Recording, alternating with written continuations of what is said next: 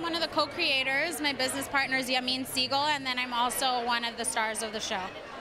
East WillyB is an original comedy web series. Uh, we're based out of Bushwick, Brooklyn, and the story we say it's like a Latino Cheers set in gentrified Brooklyn. Um, we've been compared to girls, or sometimes people call us. Uh, this was actually my favorite. If John Leguizamo and Spike Lee had a creative baby, it would be East WillyB.